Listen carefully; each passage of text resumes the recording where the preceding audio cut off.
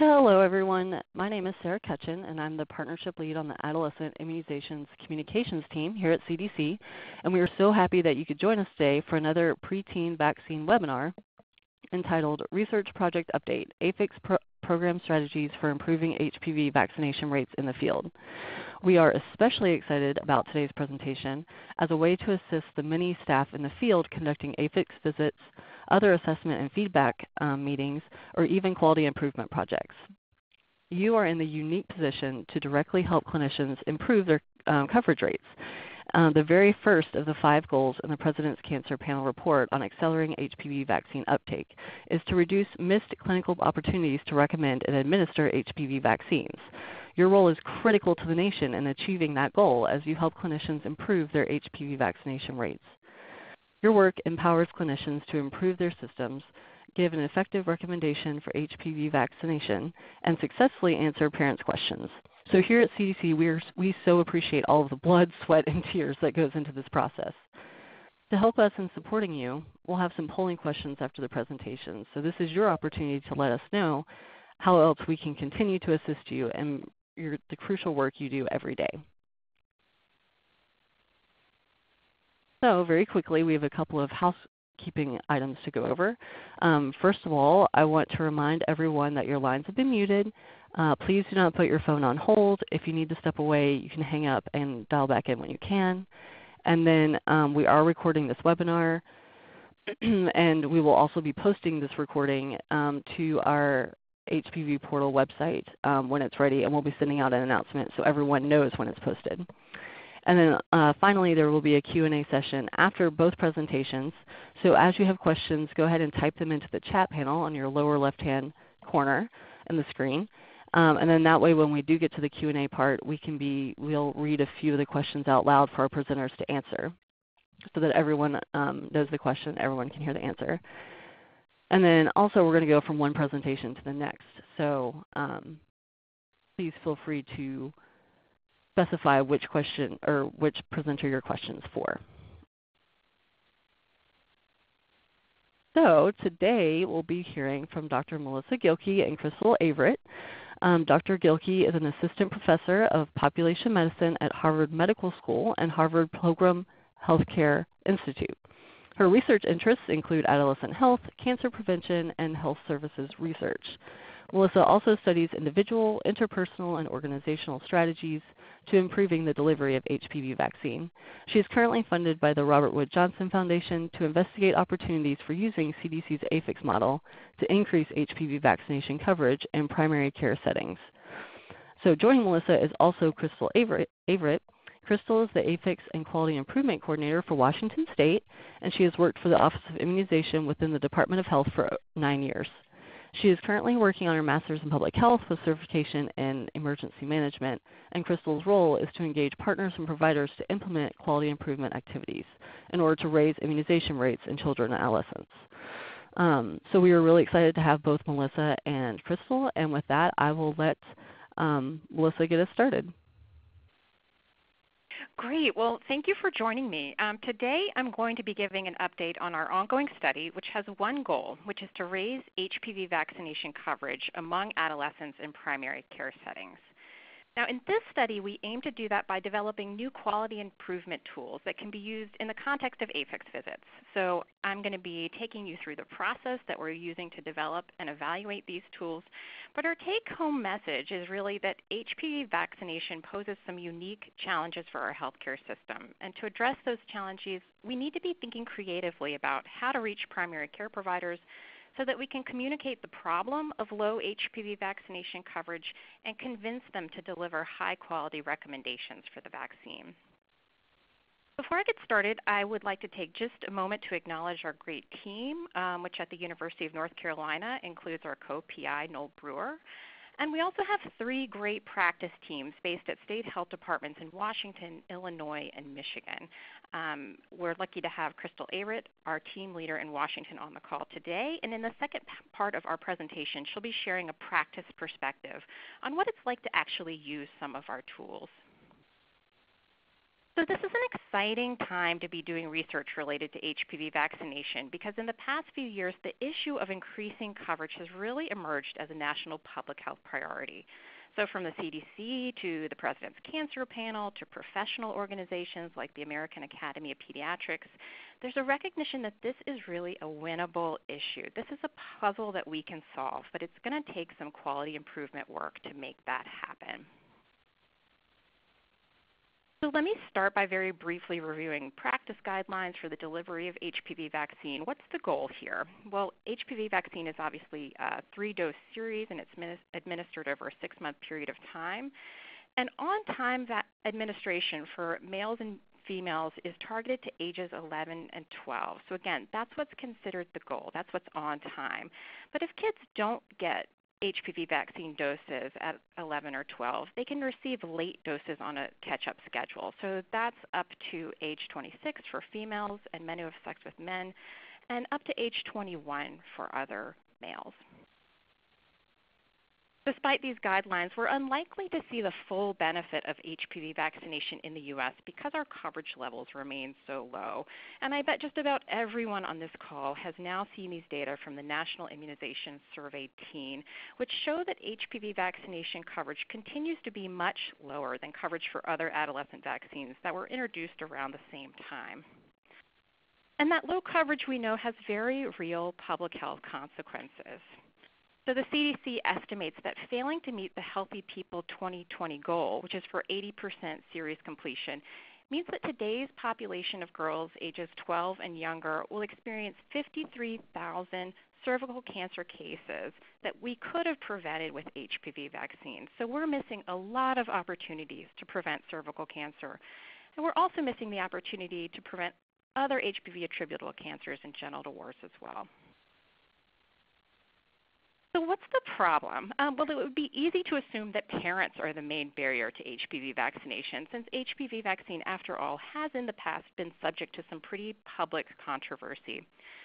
But when you ask parents why they haven't gotten HPV vaccine for their children, the answers are not always especially dramatic. So, here are the main reasons parents of boys and girls report for not getting HPV vaccine as of 2013 lack of knowledge, believing the vaccine isn't needed, and not having gotten a recommendation. So those are the top answers. And you'll notice that the concerns are largely informational. So parents don't know enough or they haven't gotten a recommendation.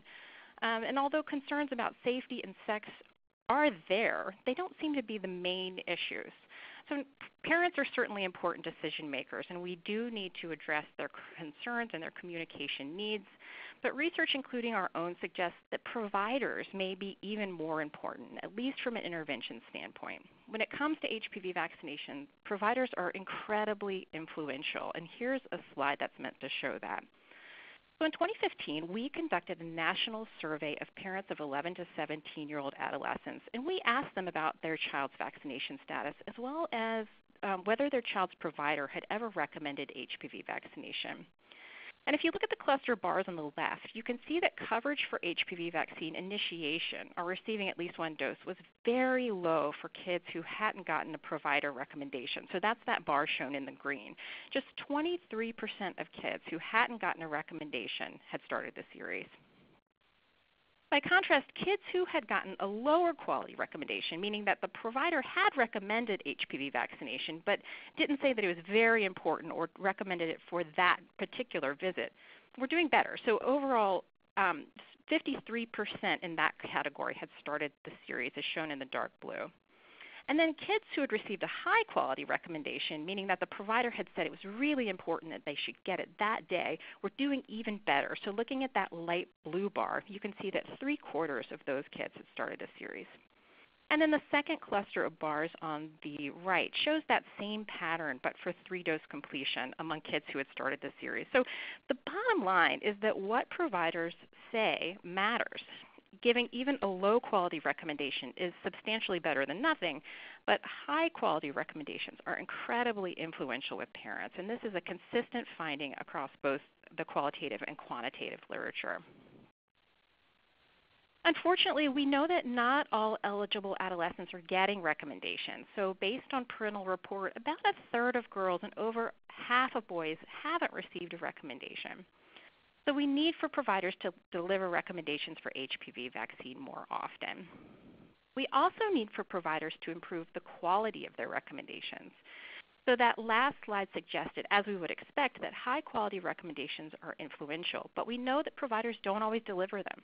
So in a prior study of physicians, we found that half reported using two or more lower quality communication practices for recommending HPV vaccines. So in other words, they were doing things like not necessarily saying that HPV vaccine was very important for 11 to 12 year olds, or they weren't recommending same day vaccination. So, what do we do? Um, well, this is a conceptual model that my team uses to think about this problem. If the research indicates that we need to improve providers' behavior, in this case their prescribing behaviors, then our model suggests that we need to focus on the determinants of that behavior, which include providers' knowledge, attitudes, and skills, as well as clinical systems that serve to do things like flag eligible patients and use remind or recall. And that's where AFIX comes in. So AFIX stands for Assessment, Feedback, Incentives, and Exchange, and it's a model of immunization quality improvement developed by CDC. So AFIX is based on a process of assessment and feedback in which a quality improvement specialist from a state or regional health department visits primary care clinicians to share information about how the clinic is doing in terms of immunizing its patient population. In the old days, that might mean pulling charts and calculating coverage estimates for the clinic that way, but now it's increasingly pop- possible to use data from states' vaccine registries to accomplish that goal. The specialist may provide training to clinic staff as well as other resources to incentivize improved performance. And then after about five to six months, the specialist gets back in touch with the clinic to provide updated coverage estimates to let providers know whether their quality improvement efforts are working. Now, for early childhood vaccines, AFIX has been shown to improve immunization coverage by about 5 percentage points, so it is an evidence based approach. And based on this evidence, CDC recommends that health departments provide AFIX visits to at least a quarter of federally funded vaccine providers each year. So this is a quality improvement program that's already happening on a very big scale. And in, in, this way, it's an amazing opportunity to improve HPV vaccination because in terms of reach, there's just really nothing else like it. Now, just a quick note on theory. AFIX is informed by continuous quality improvement, or the CQI method. So, in its ideal form, CQI involves rapid cycles of development in which you try out an innovation and then you use data to see if it works, with the emphasis really being on the process and improving that process versus assigning blame. And AFIX is definitely data driven in that primary care clinics are asked to try out a quality improvement strategy and then are given data to see if that strategy worked. AFIX also really embraces that spirit of experimentation and collaboration. So clinics may be provided with incentives for improving immunization coverage, but they aren't punished if they don't succeed. Instead, the goal of AFIX is really to draw on providers' own motivation to improve, which is one of the defining features of CQI. Now, where AFIX has usually differed from CQIs with the follow up, so typically clinics don't have continuous rapid cycles, but instead they get an AFIX consultation once a year or um, once every few years, which is somewhat different from a, a pure CQI approach. So, again, I, I think it's um, fair to say that AFIX is informed by CQI, not that it is CQI. So, having this theory informed quality improvement program made us curious about the possibility of using AFIX to improve adolescent vaccine coverage. If we have this program that's already being implemented in all 50 states, like AFIX is, why not use it for the vaccines that need it most? So that question inspired our collaboration with the North Carolina Immunization Branch in 2011.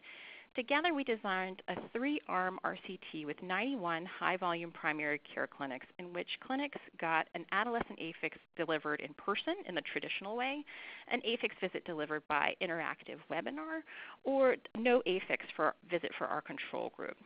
Our sample included 53 pediatric clinics and 38 family practice clinics, serving a total of over 100,000 patients ages 11 to 18. And here we can see our main outcomes at five months. So on this graph, we see vaccine coverage changes by study arm for younger adolescents. These bars represent the number of percentage points by which immunization coverage in each study arm improved for patients ages 11 to 12. The first bar in the cluster is the control group, and that shows the secular trend, followed by the in-person group and the webinar group. So the first cluster of bars on the left shows how coverage changed for Tdap. And we can see that the two intervention arms um, had coverage changes that were about four points higher than the control. So we found that AFIX did have an impact on Tdap coverage. And then we see a similar pattern with regard to meningococcal vaccine. Now for HPV vaccine, we did find a statistically significant intervention effect, but it was smaller, so just one and a half to two points over the control. Now, a secondary study aim was to compare the intervention arms to each other. And as you would probably guess by looking at the graph, we didn't find evidence to suggest that the two delivery modes, in person or webinar, differed in terms of effectiveness. So webinars seem to do just about as well as, as in person AFIX. So all in all, we felt like this was pretty good news. We would have liked to have seen more impact on HPV vaccination, but we did get some intervention effect, and we saw some evidence to suggest that webinar is a promising delivery mode. Now, unfortunately, an analysis that we conducted of outcomes at one year suggests that the improvements we saw at five months didn't persist. So at one year, coverage for Tdap, meningococcal vaccine, and HPV vaccine initiation was about the same across the three arms. Now keep in mind that these are, are pilot data, and they're pilot data, data that are now about five years old. And both HPV vaccination coverage and the AFIX program itself have changed considerably over that time. So this pilot study certainly is not the last word in terms of AFIX effectiveness, but it did provide us with some important clues, specifically this idea that to maximize AFIX impact for HPV vaccination, we might require an extra boost. It may take a little something special. So that brings us to the present study in which we wanted to design and evaluate some HPV vaccine specific tools that could be used in the context of AFIX visits. Through the Robert Wood Johnson Foundation, we were awarded funds for a study that has the explicit goal of improving HPV vaccination uh, coverage. And our study had three aims. First, we wanted to conduct some formative research to identify key challenges to HPV vaccination quality improvement. Second, we wanted to develop quality improvement tools and strategies that were responsive to those challenges. And then finally, we wanted to evaluate those tools in a randomized controlled trial in partnership with three state health departments.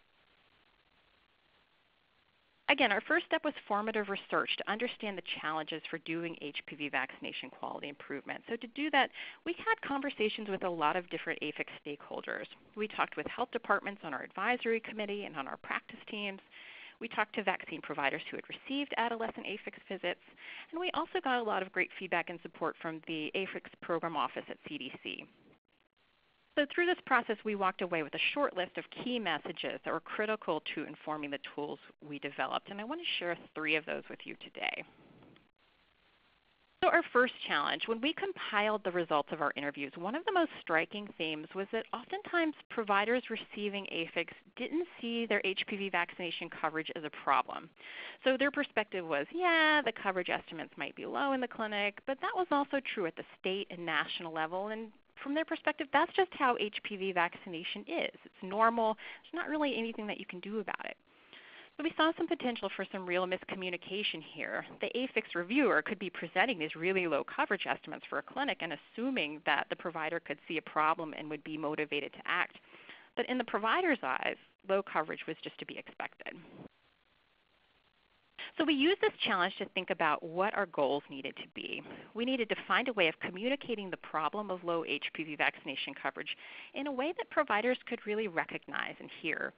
We also wanted to motivate them by convincing them of their influence with parents, teaching them some communication skills for recommending HPV vaccine, and really building their confidence and their optimism with regard to recommending the vaccine. One way we did this was to develop an immunization report card that you can see here. So the report card has three parts. The first section presents coverage estimates. The second helps providers to set a goal for improving coverage. And the third gives some basics about how to recommend HPV vaccine effectively.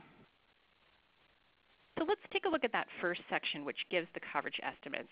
Here, we report the number of patients in the clinic who are in or beyond the target for adolescent vaccines. And then we present coverage estimates focusing on HPV, meningococcal, and Tdap vaccines. You'll notice that we tried to keep the report card really streamlined, and we purposely excluded state and national coverage estimates because we wanted to further avoid, uh, excuse me, avoid further normalizing low HPV vaccination coverage. So instead, the comparison that we wanted providers to make um, was between their HPV vaccination coverage, which is typically low, to their meningococcal and Tdap coverage, which is typically quite high. So that the idea is to set set you up for what's having essentially an assets-based conversation. So to be able to say you're doing really well with regard to meningococcal vaccine and Tdap vaccines, but your HPV vaccine coverage is low and needs some work. So we wanted to keep the conversation as positive as possible and to maintain that collaborative AFIX spirit. So another thing you might notice is that even though this is called a report card, we don't give providers a letter grade on their coverage estimates. It's something that we considered, but we ultimately decided against it because AFIX is not supposed to be about blame. And the reality is that if graded by the Healthy People 2020 goal of 80% coverage, most clinics would get an F at the start of the project. Not only that, even if they made substantial progress in their HPV vaccination coverage over the course of the project, they might still have an F at the end. So since we wanted to set providers up for success and maintain this kind of positive collaborative approach, we decided that grading was not the way to go for HPV vaccination. So that's step one of the report card. The second part of the report card helped providers to set a six-month goal for improving their HPV vaccination coverage. And for the purposes of this study, we asked clinics to try to immunize 10% of their patients in the six-month period. Now, we set this goal um, somewhat arbitrarily, but the point was to emphasize that we were expecting them to act to improve their coverage and in a way that was measurable, in a way that they could track. So we chose to set the goal in terms of the number of patients in each age group that they would have to vaccinate to meet their goal. And our hope here was that thinking in terms of the number of people instead of in terms of kind of vague coverage estimates would help communicate what needed to be done and also hopefully make it seem a little bit more manageable. And later in the presentation, um, Kristen, Chrystal will speak to what it's like to have these conversations with providers. We also have a place on the report card where the AFIX reviewer can provide an interim report to show progress toward the goal at three months. And a final report at six months to show whether the goal was achieved. So for this pretend clinic, you can see that they did make their goals. They needed to give the first dose of HPV vaccine to 57 11 to 12 year old patients, and they vaccinated 60. They needed to give HPV vaccine to 76 13 to 17 year old patients, and they vaccinated 80. And then the last section of the report card emphasizes the importance of provider recommendations. So here we model a high quality recommendation by saying your child needs three shots today meningitis, HPV, and Tdap vaccines. And then the AFIX reviewer can use this example to point out why this is a good recommendation. So it's an approach that expects a yes by being short and direct. It normalizes HPV vaccination by presenting it kind of sandwiched between meningococcal and Tdap vaccines. And it also emphasizes same day vaccination. So your child needs three shots today. So this is that same way, same day approach. And then we also direct the provider to online resources for learning more about HPV vaccination quality improvement. So we tried to set up the report card in a way that could structure the discussion within an AFIX visit, but which was also portable. So we wanted this to be something that providers participating in the visit could share with providers who might not be able to attend. And that brings us to a second and closely related challenge that we identified over the course of our formative work. We know that reaching vaccine providers, and especially the physicians and mid level providers who are prescribing vaccines, is really critical to HPV vaccination quality improvement. But our key informant interviews suggested that this was a really difficult task to accomplish. So, given their busy schedules, it's obviously hard to get providers time. In addition, we learned that health departments are often limited in terms of the resources they have available to incentivize participation. So, if you're doing dozens of these visits each year, like a lot of states are, the cost can really add up quickly. The other thing we learned from states is that they sometimes face constraints in terms of what they can purchase for incentives. So, for example, it's increasingly difficult to cover food as an allowable expense. And finally, it's hard to know what will really motivate providers. So, for example, if you go with an incentive like a plaque or other forms of rec- recognition, that might only motivate the providers who are already high performers. So, based on these findings, we knew our goal was to identify new incentives for participation that would be low cost, allowable expenses for states, but still motivating to a wide variety of providers. So our study drew on the collective wisdom of our advisory board, uh, of our state partners, and developed a couple of strategies for trying to get providers involved. First, we found a mechanism that we could use to offer free CMEs to physicians and nurses who participated in the AFIX visit. So our visits were accredited by AAFP, um, which for a $600 application fee allowed us to give one hour of AMA Category 1 credit for any provider participating in our program. Now, there were some strings attached, so providers could only claim one hour if they participated in the visit for an hour. And they also had to fill out a brief uh, online survey. But all in all, our states found that this was a good way to get more providers to the table. To support the CME activity, we developed a didactic presentation which included PowerPoint slides that AFIX reviewers could use to share data on HPV and HPV vaccination. And this was also important for motivating providers' participation because they really liked seeing the evidence.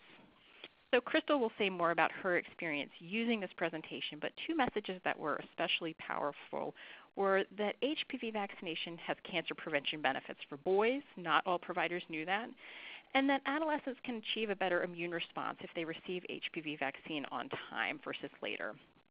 So providers um, participating in the study really wanted a rationale for on-time vaccination. And finally, we developed what we called a quality improvement action plan. You can see what that looks like here. So the purpose of this form was really, again, to structure a conversation with providers about how they were going to prioritize quality improvement efforts in their clinic and mobilize other providers to get involved. Um, so there were three sections. In the first, we asked all clinics to commit to sharing coverage estimates and discussing the importance of high quality HPV vaccine recommendations. In the second section, providers could select secondary strategies like reviewing guidelines and training staff. And in the third section, we asked providers to brainstorm about how they could get the word out in their clinic to providers who were not able to attend the AFIX visit. So this could include strategies like discussing the AFIX visit um, during a staff meeting. Now, in actual practice, we found that providers were not always able to select a quality improvement strategy at the time of the AFIX visit. So sometimes they needed time to discuss various strategies with other providers and to make a decision as a team, and that's okay. Um, the goal was really to get them started with thinking about different strategies and to make sure um, they were doing at least two things sharing coverage estimates and discussing the importance of high quality HPV vaccine recommendations. And that brings us to our last major quality improvement challenge, which was maintaining providers' momentum and focus once they were involved. So, in our key informant interviews, we heard a lot about the competing demands that can get in the way of HPV vaccine quality improvement. In a very real way, AFIX has to compete for providers' attention. It has to compete with other quality improvement programs, other systems level changes like the transition to electronic medical records, as well as just the crush of the day to day work involved in seeing patients. So, another goal that we set for ourselves was to create opportunities to keep in touch with providers and to find low burden ways of keeping AFIX visible. And here we built in a number of strategies. One was the use of an interim progress report on our report card, which I mentioned previously. So three months after the AFIX visit, we got back in touch with clinics to let them know whether they were on track to meet their six-month goal. And if they weren't on track, this gave them a chance to reevaluate their quality improvement strategies and get reorganized. If they were on track, this often gave them the encouragement that they needed to keep going. Another strategy that we developed is what we called email coaching. So, using a few ready to use templates, our AFIX reviewers got in touch with providers at regular intervals to share educational resources and to just more generally keep in touch so that AFIX was something that providers continued to think about. So, for example, the email might contain CDC's Tips and Time Savers Guide for talking about HPV vaccine, or states might share resources they had developed themselves. So, again, the purpose was really to keep AFIX on their radar. So I'll end this section of the talk with a summary slide that shows what our intervention looked like once we put it all together. So step one was to schedule clinics. So here we were using the CME incentives to try to get providers to the table. Step two was conducting the AFIX visits, and this involved using the report card to communicate the problem of low HPV vaccination coverage and to set a measurable quality improvement goal. Um, using the PowerPoint presentation to improve providers' knowledge and build their communication skills, and then using the action plan to help the visit participants engage other providers in the clinic. And finally, step three was to conduct follow-up activities, which included giving clinics progress reports and conducting email coaching to share educational resources and just to more generally stay in touch. So once we had developed our materials, our next step was to evaluate them in an RCT, which started almost a year ago in our three partner states. And again, our practice teams are located in the state health departments of Washington, Michigan, and Illinois. And we on the research side have been incredibly lucky to have these partnerships. So in the RCT, the practice teams are primarily responsible for delivering AFIX visits using the tools and strategies um, that I've been describing, but they were also integral to the development and the pilot testing of our intervention. Uh, we've really looked through to them throughout the whole process to help us understand just what it's like to deliver AFIX visits, um, what motivates providers, and what's feasible in the real world context of state health departments. So when I talk about states, I'm not just talking about a setting in which our study happens to take place, but real partnerships in which our teams were working together to create our materials in the shared study. So our study design is based on the North Carolina pilot, so it should look very familiar. Um, we again have three arms, but instead of working in one state, we're working in three. Uh, within each state, clinics were assigned to receive AFIX visits delivered in person, uh, AFIX visits delivered by interactive webinar, or no AFIX control. And our partners delivered visits um, in May through October of 2015. Now we'll follow these clinics for a year to determine whether our intervention was successful in improving HPV vaccination coverage. Now, since data collection for our trial is ongoing, we don't yet have vaccination outcomes, but I can share with you the components of our evaluation as well as some preliminary findings from our process evaluation. So our primary outcome is change in HPV vaccine initiation, meaning one or more doses at six-month follow-up. But we're also going to be looking at coverage at 3, 9, and 12 months to understand how the impact of AFIX changes over time. So these data will come from states' vaccine registries. To assess issues related to fidelity to protocol, um, we have conducted observations for a subset of our webinar sessions. And this has been really a great opportunity to explore how the intervention is adopted and adapted by each state. To understand how vaccine providers receive AFIX in terms of their satisfaction, and engagement, we've conducted online surveys with providers at three time points, right before the visit, right afterwards, and at six-month follow-up. So we're also studying the cost of delivering AFIX from the perspective of state health departments. We're really lucky to be working with a health economist, William Calo, who's able to track resources devoted to the project using, using tools like time logs. And then finally, and I think most importantly, we've met with our state partners on an ongoing basis by phone to get their feedback on how implementation was going. And we'll use these meeting notes to not only understand how the intervention works, but also to compile a list of key forms of technical assistance that can accompany our training guide. Again, we don't yet have um, data to report on how our study impacted vaccination coverage, but I would like to share some preliminary process findings that we find really encouraging. So this graph shows data on provider satisfaction with the AFIX visits they received on three key measures, which you can see along the x-axis. Facilitation, so whether they thought the AFIX reviewer did a good job, and then also convenience and ease of understanding of the visit overall. So the blue bars show responses given by providers who received in-person visits, and the green bars show responses for those who received webinar visits. And before conducting these surveys, we had decided that our goal was to ch- achieve mean scores of at least four on a five point scale. And you can see that we met this goal for all three measures and in both conditions. So it, we achieved a high level of satisfaction. And we see this as being really important because it helps to set that collaborative tone that AFIX needs to be effective at engaging providers. And then, of course, I think it also really speaks to the quality of the work that was being done by our state partners. In addition to satisfaction, we also used provider surveys before and after AFIX visits to assess changes in intermediate outcomes. So again, you can see these along the x-axis.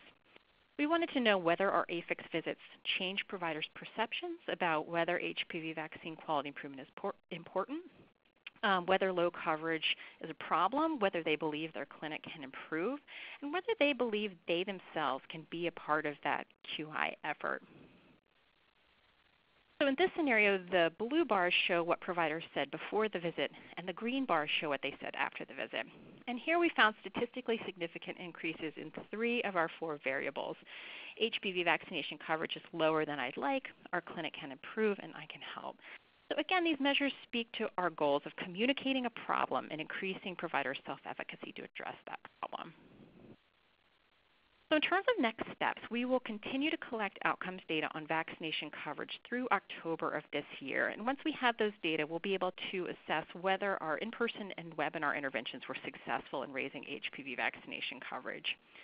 We'll also be working on our process evaluation during this time, which includes a comparison of our webinar and in-person delivery modes on cost, satisfaction, and effectiveness. So here we want to use qualitative and quantitative data to understand trade-offs in using each of these delivery modes. And we'll also explore different ways that states plan to use webinars. So for example, one of our states is thinking about giving clinics an option about which kind of AFIX visit they want. Another plans to use webinar just for high performing, performing clinics that um, need a check-in but are, are doing pretty well overall. So please stay tuned for those findings. So I'm about to turn the presentation over to Chrystal um, for the practice team perspective. But before doing that, I want to sum up by returning to our key points from the research side of things. So first, this idea that AFIX is a real opportunity. By pairing AFIX as a quality improvement approach with some of what we're learning about how to improve provider recommendations, we can reach a lot of providers with a really important message. Now, I actually think that AFIX is one of our best chances for raising HPV vaccination coverage nationally.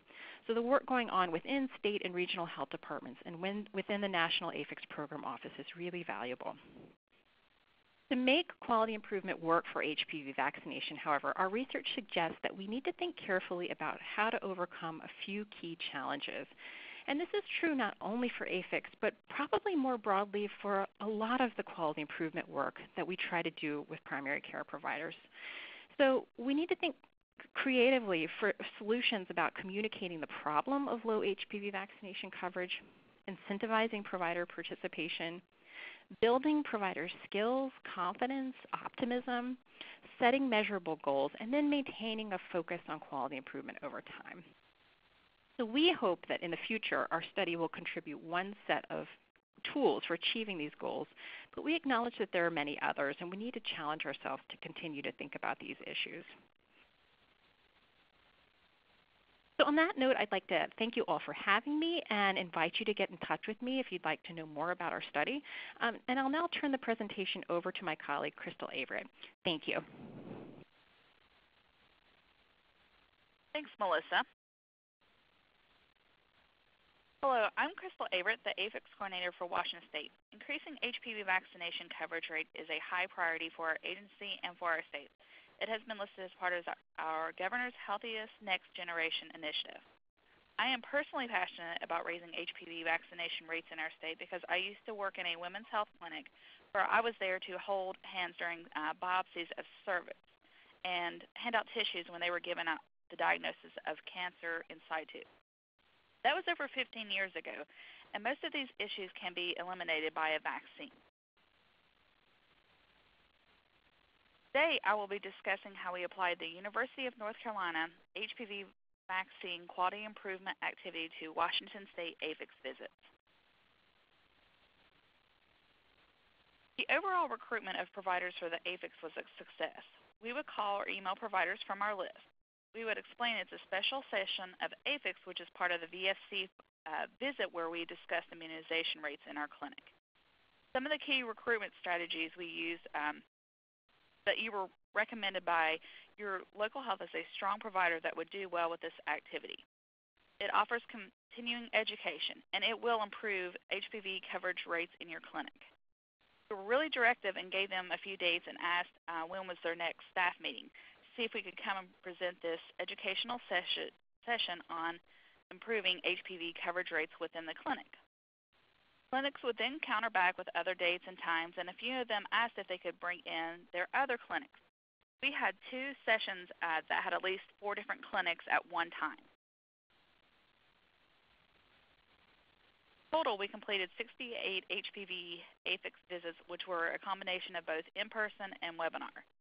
For the webinar, we used uh, GoToMeeting software because this is what our agency approves for use. Both sessions were made to be interactive to get feedback and input from those who attended. We used our state staff to conduct these visits. One thing I want to also want to mention uh, that we had more last-minute uh, cancellations during the webinars uh, versus uh, going out and seeing uh, providers in person. For the assessment portion of the visit, we exported data from our immunization information system. At the end of 2015, we had 192 organizations representing 1,100 healthcare facilities who submitted data uh, to our IS through HL7 interfaces, and many more who shared data through other methods. We used the birth date ranges for 11 and 12 and 13 to 17 year olds uh, using the as of data as close as possible to the scheduled visit. Data was then imported into COCASA software to measure the adolescent coverage rates for the uh, two age cohorts. We used the diagnostic report and the HPV report for the AFIX visits.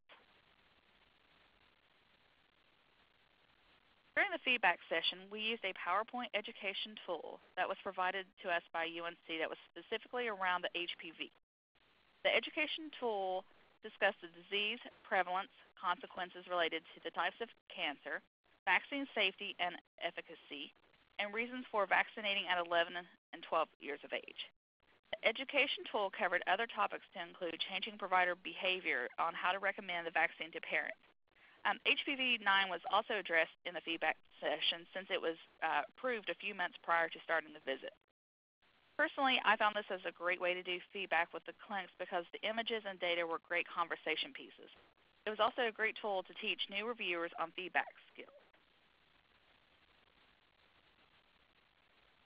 Also, during the feedback session, the provider received their immunization report card that included their adolescent assessment rates, which compared one dose of Tdap, uh, meningococcal, and HPV and put all three on a level playing ground to show the missed opportunities to the clinic. Discuss the Healthy People 2020 goals for all three adolescent vaccines and what the national and uh, state average were compared for the series um, to the clinic. And then they were presented uh, their report card.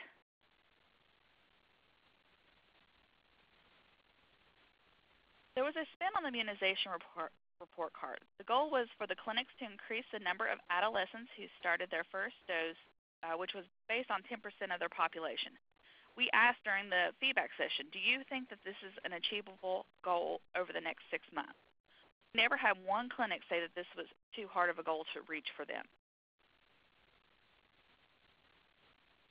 The HPV focus visits also included a secondary quality improvement plan besides the one that was in the AFIX online tool.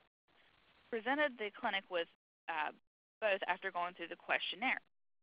Clinic improvement plan was to ensure that all clinic members are aware of adolescent coverage rates and are educated on when adolescent vaccines should be given.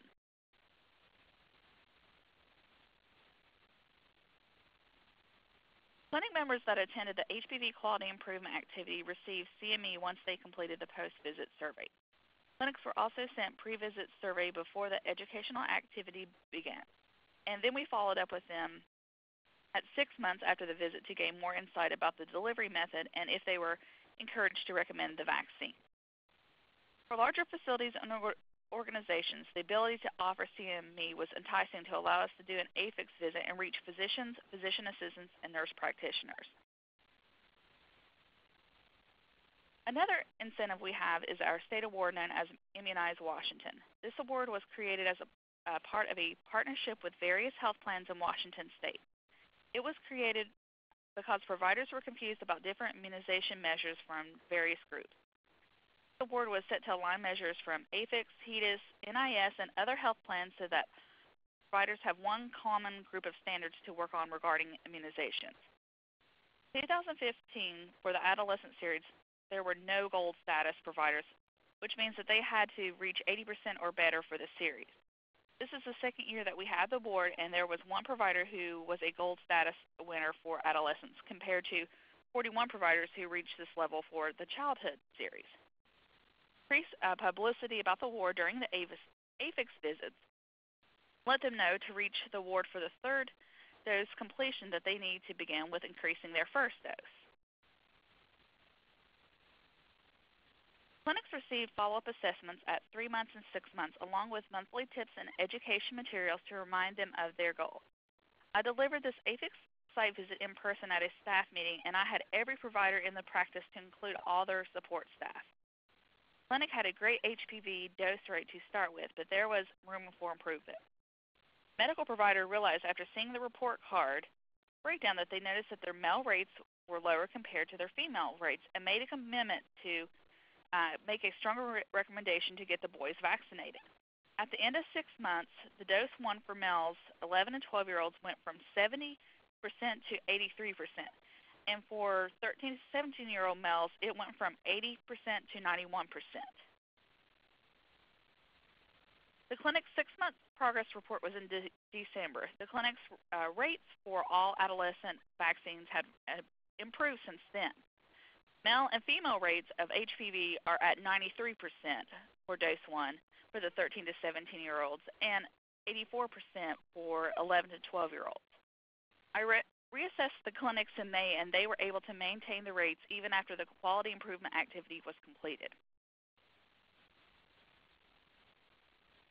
There were a few challenges that we experienced while doing the HPV focused AFIX visit. One of them was the introduction of the HPV 9 vaccine, which there were some allocation issues at the beginning uh, because we wanted to make sure that all clinics were using up their HPV 4 vaccine. Washington is a universal vaccine state in which health plans contribute funding for vaccine. Increased cost of HPV 9 affected the budget. CoCASA software also uh, did not recognize the CPT code for HPV 9 until we received a patch. We had to go back and reassess clinics and give them updated report cards during uh, a two month period. Many clinics were also panicking because uh, they didn't have a 60 day supply on hand and they were scared they were going to um, not have enough vaccine to complete the uh, project. However, no one ever ran out of vaccine. We also had to ensure that our local health can meet their own AFIX site visit requirements. And we were not uh, double booking and seeing the same provider. During 2015, there were many different HPV vaccine outreaches uh, from many different groups to include our own campaign and grant. Um, some of the providers were just getting tired of the topic, hearing about it.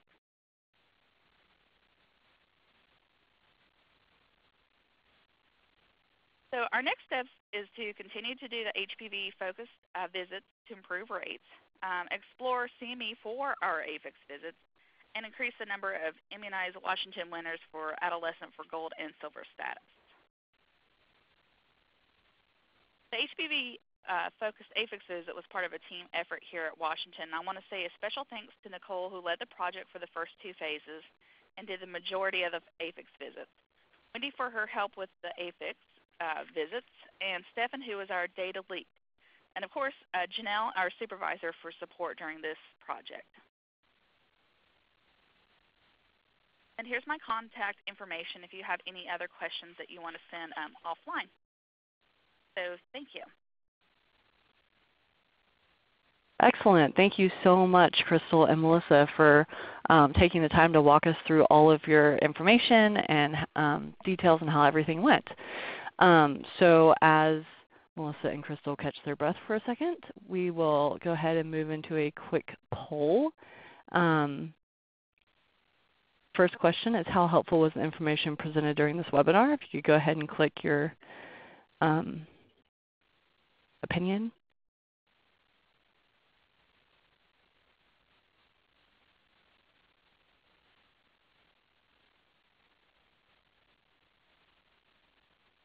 One more second.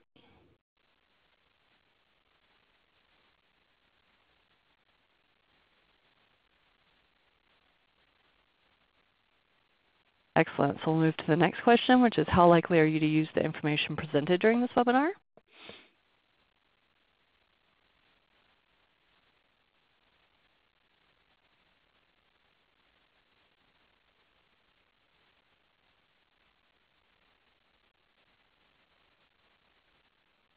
And there you go.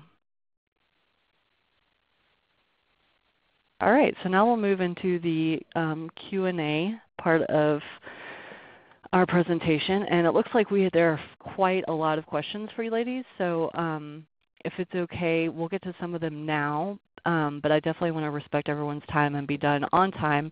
So we'll, whatever questions we don't get to, we'll log. Um, and then if Melissa and Chrystal have time, um, maybe you could answer the few, a few individually. It should be like 10 or 12, if that's okay. Absolutely, um, yeah. Okay, great. So,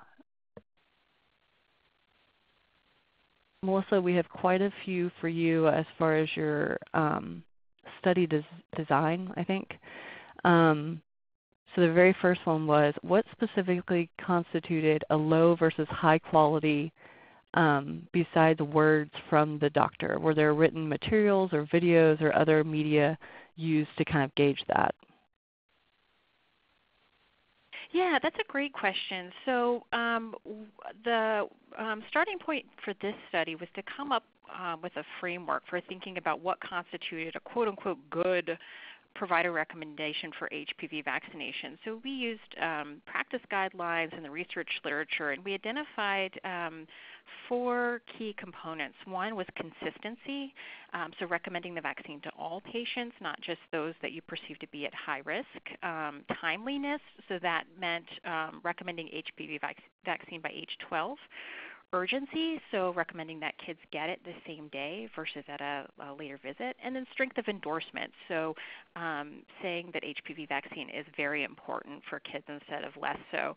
Um, originally, we had also planned to assess um, emphasizing um, cancer prevention, but since all providers, uh, almost, I mean, it was something about like 97% of providers said that they did this, we didn't include that in our framework because there just wasn't variation in it. So that was our starting point for thinking about what a strong or a good recommendation is. And, and so um, those all did focus on um, communication practices, so things that providers said. We did not include things like um, using materials like the VIS or that kind of thing, um, just because we don't feel that there is um, enough evidence to support that uh, in the particular context of HPV vaccination. That said, there may be in the future. So we have this, we've set this kind of as a framework for a starting point, and we hope that over time we'll be able to add um, more components about what constitutes a high quality recommendation as we as we um, collect more evidence and understand more about what works. Excellent. Uh, we have another question. This is more of a general question, I think. So one big problem for many studies is measuring immunization rates using the registry. Um, providers improve by going into the registry and make it so they are not the provider for teens who have not come in for two years. So they're, they're kind of changing the denominator. Um, is there a way that you addressed any registry issues? Yeah, as far as rates? Is something that we have heard from states that it is possible to kind of go in and cook the books if you um, you know take out some some of the kids who are in the denominator at the beginning of the study.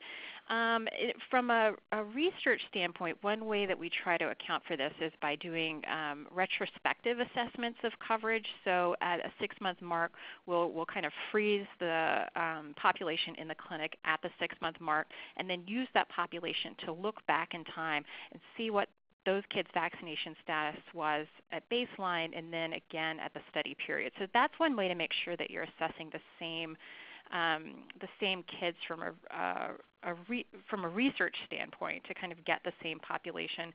That does come with its own limitations. So obviously, um, you may be missing kids who um, leave the clinic before that um, follow-up time period. So it's not perfect, but for research, that's one thing we've done. Um, and another thing, and maybe Chrystal can speak to this, but we've heard that um, we've heard from our states that presenting um, the the quality improvement goal in terms of the number of kids instead of a change in coverage has also helped some in that regard. Um, not because because providers could not still go into the registry and, and delete some of the um, inactive records to change their denominator, but it just doesn't occur to them, right? So if you're if you're presenting it in terms of the number of kids that they need to vaccinate, um, it seems as though that idea doesn't um, is, is, it just doesn't occur to them, and so in, instead they're thinking about um, the number of kids they need to vaccinate. Chrystal, do you want to add anything there? Um, you know, when we were doing the AFIX visit, we really never uh, discussed about going up and doing registry cleanup. We just really focused on um, it, any new kid that comes in to start their vaccine. That's what we really wanted the provider to focus on. And we um, kind of focused on them running their own cover, uh, coverage rate reports uh, so they could see where they're at for uh, both adolescent and uh, childhood. Excellent. Um, Melissa, there are quite quite a few questions about if your templates would be available for sharing um, as far as the report cards. Is that an option or? Yeah, absolutely. I would en- encourage anybody who would like to um, to see materials or ask questions to feel free to get in touch with me. Um, uh, the CDC National Program Office is is working on their own report card, um, and so you know I think that that's something that will um, be coming out soon. But we're we're certainly um, more than happy to kind of share resources and and um, so you can get a closer look at it and kind of see how it works up close. Okay, excellent. Well, um, it is two o'clock, so I'm I, well I have two o'clock. I'm going to go ahead and um, conclude the webinar right now. But um, for everyone, thank you so much everyone for being on the call and for submitting all of your questions. We will, like I said, we will log these questions and um, we will get you answers. Um, I think we can email you through your registration. So um, look forward to receiving an email from us. But again, thank you so much. Another reminder, please feel free to, see, to send any additional comments or questions you have for us at CDC to our team inbox, preteen vaccines at cdc.gov. And then for more information, you can also visit cdc.gov slash HPV. Um, we welcome any feedback, comments, suggestions, or again, if you have additional questions, we um, can put you in contact with Melissa or feel free to, um, Melissa or Chrystal, and feel free to contact them directly. Um, but thank you so much and have a great day.